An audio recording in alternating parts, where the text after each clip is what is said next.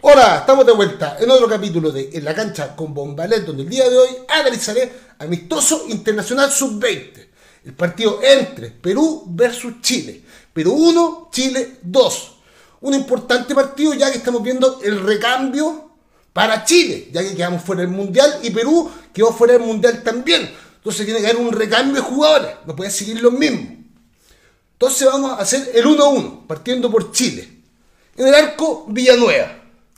El primer tiempo, bien, sacó un remate a Sandoval. Bien que el mismo Sandoval hizo un gol en el segundo tiempo. Tras error de Rocco, que despeja un mal despeje a la espalda de Morales.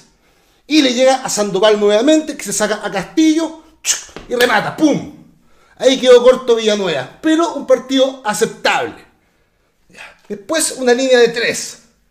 Rocco, Arancibia y Morales. Arancibia de Universidad Católica, Rocco de Huachipato y Morales de Universidad de Chile. Morales muy bien. Se nota que tiene partido en el cuerpo, porque juega todos los partidos por Universidad de Chile, llegando línea de fondo, llegando línea de fondo y jugando con tres en el fondo. Muy buen partido. Universidad de Chile tiene buenos cadetes. Osorio, también Asari, fueron los mejores, los cadetes de Universidad de Chile. Deberían jugar siempre y no jugar los que están jugando de titular. Ya, pero nos vamos a enfocar en la sub-20, obviamente para tirar para arriba el fútbol chileno. Después, Castillo, de O'Higgins. Paradito adelante de la línea de tres, ordenado bien ordenado y desahogando, desahogando, desahogando lo que hacía Patricio Ormazábal cuando jugaba como futbolista, ordenado el equipo. Me gustó el partido de, hoy. Antes lo había hecho mal contra Paraguay, habíamos perdido dos veces. Después una línea de cuatro. Por el lado derecho, León, que estuvo bien por ese lado porque no subió Grimaldo mucho, no tuvo tanto peligro, lo marcó bien, que León juega en Palestino. O sea, pertenece a Palestino. Después, al lado de él, aquí, Asadi, un partidazo. Encarador, toca con la izquierda, toca con la derecha, se desmarcaba siempre, dio un pase gol. No, buen partido de Asadi, de los mejores junto a Osorio. Después, al otro lado, Norambuena, uno zurdo, que juega en Unión Española. Ordenadito, la línea de cuatro. Asadi no eran buenas, que no era tan técnico como Asadi, pero disciplinado en la marca. Y siempre se la da un rojo, aplicadito, aplicadito. Después por el lado izquierdo, Thompson. Uno bajito, zurdo, el número 10. Llegando en el fondo, sacando centro, habilidoso, habilidoso. Se veía un equipo complementado. Bien Chile. Mal el segundo tiempo al final, cuando hizo muchos cambios ya. Ahí se desordenó el equipo de Chile. Pero el primer tiempo fue superior Chile. Después dos arriba. Con Eli, el capitán de Unión Española, que no me gustó. No le puede pegar un penal así, de espacio, dando bote el balón antes de llegar al arco. No. Un penal se pega fuerte. Si es que se te va, por lo menos, pégale fuerte. No puedes tirar un penal así. Y muy estático. Por el lado izquierdo, Osorio, el mejor del partido Dos goles. Uno a los 34, vivaracho. Porque el fútbol es un deporte de engaño. Entonces, ama si fue. Pone un letrero, como digo yo, y se la da a Díaz. Entonces él lee la jugada y apura a Díaz, que era el capitán de la selección peruana sub-20, que se jugó un pésimo partido. Hizo el penal que falló con él. Después tuvo esta falla que lo anticipó Osorio, gol de Osorio. Y también a los 61 él fue el que la perdió larga, que después entró a Sai y dejó solo a Osorio por ese lado. O sea, tres fallas fundamentales. No puede ser el capitán de la selección sub-20 días.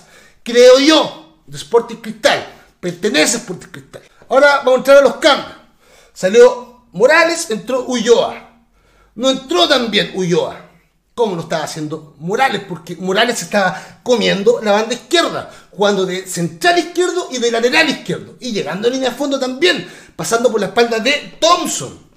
Un partidazo de Morales, que después entró Ulloa y por ahí llegó Gómez, a línea de fondo, sacó un centro que falló a los 85 Goicochea. Solo, solo, solo. No puede fallar así Goicochea. Otoya, muy tronco. Pero muy tronco y andaba con el pelo aquí.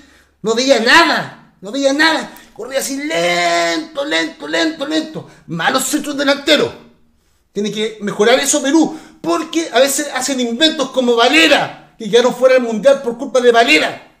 Entonces, tenían a Guerrero antes. Ese es un centro delantero de categoría mundial rápido, violento. Ese gol a Guerrero, por dar un ejemplo, imposible que se le fuera. Fue porque tuvo miedo Goicochea a los 85 que hubieran empatado el partido. Pero vamos a seguir en orden, con los cambios. Después salió Norambuena y entró Carreño. Que lo hizo bien, se paró bien, pero ahí Perú empezó a tocar más. Salió Thompson, entró Matamoros, que entró por ese lado y llegó a línea de fondo y sacó un centro, era zurdo también, cambio por cambio. También salió con Eli y entró Calderón, que tuvo una, pero no la pudo meter adentro. Con Eli no me gustó el partido de Coneli. Después Osorio, un partidazo que entró Johan Cruz, que debería ser titular. Jugar arriba Osorio y Cruz. Ahí la rompen arriba. Pero esa decisión de Ormazábal que ganó este partido y el jueves juega nuevamente contra Perú. Después salió Asadi y entró Lolas. Y ahí fue cuando se desordenó Chile y Perú empezó a tocar más. Y llegó más. Porque hizo mucho cambio ahí, mucho cambio. Pero está bien, porque estos partidos internacionales es para agarrar ritmo de competencia y ver a jugadores. Todas las apuestas en los deportes. La energía fluye. El equipo va con todo. La victoria se acerca. Juanesbet, esta es tu victoria. Y ahora vamos a entrar con los peruanos. Que vi el partido en un canal peruano que el relator no le achuntaba a ningún jugador. Tuve que ver el partido dos veces. Impresionante. Decía en todas, la lleva Borletti, la lleva Borletti, no la lleva Borletti, la lleva otro, la lleva Cabellos o la lleva Sandoval, pero él siempre decía la lleva Borletti. Y Borletti jugaba con las medias abajo, las cosas básicas. Por eso es que los peruanos no surgen porque tienen comentaristas nefastos, así nomás, ya. En el arco a Masifuen. Mal a Masifuen. Porque no puede darle ese pase a Díaz poniendo en juego un balón tan importante que Osorio la ganó, gol. Un gol ridículo, ridículo. Así que más o menos nomás. Fue. Después por el lado derecho Gómez. Bien, se le puede sacar rendimiento a este jugador de Alianza Lima. Después de central tenían a Guadalupe, que se lesionó y entró un buen jugador. Me gustó. El 22, Villacorta, que tiene 16 años. Ese jugador le puede sacar rendimiento. Sí, buen jugador. Después, a este lado, Díaz. Un desastre, Díaz. Perdieron por culpa de Díaz. Sáquenle la jineta capitán, por favor. Si quieren surgir los peruanos, obviamente. Porque para esto hay que tener buen ojo. Y Díaz no sirve. Malo. Lo vamos a sacar. Con respeto, obviamente, porque son jóvenes. Pero muy mal partido de Díaz. Pésimo. Puede ser que tuvo una noche pésima. Y que otro partido juegue bien. Pero este partido fue un desastre. El peor lejos. Ya. Por el lado izquierdo, Santibáñez. Si llegaba a línea de fondo, se asociaba con Grimaldo, que jugaba por el lado izquierdo también. Un partido regular, digámosle. Porque también fallaba mucho con el balón.